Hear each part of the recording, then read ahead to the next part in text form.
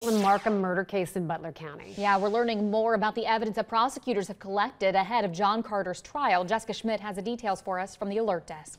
Yeah, some new details to share with you, but first a little background. John Carter is accused of killing his then fiancee, Katelyn Markham, in August 2011. Markham's remains were then found in April of 2013. Now, ahead of Carter's murder trial, Butler County prosecutors are turning over discovery, which is typical. That's so the defense can look it over before the trial next year. A new court document details 33 pieces of evidence prosecutors have in this case. It includes lab reports, text messages, subpoenas for Carter's phone records, photos, photos of cars and different properties, and then screenshots of Facebook conversations between Markham and others. Also listed is a Facebook search warrant for Michael Strauss and an email from a private investigator, J. Ryan Green, about Strauss. You may recall Strauss is actually serving time for the murder of another woman, Ellie Weick. And we know investigators on Markham's case did at one point meet with investigators on Weick's case to see if the two could be connected.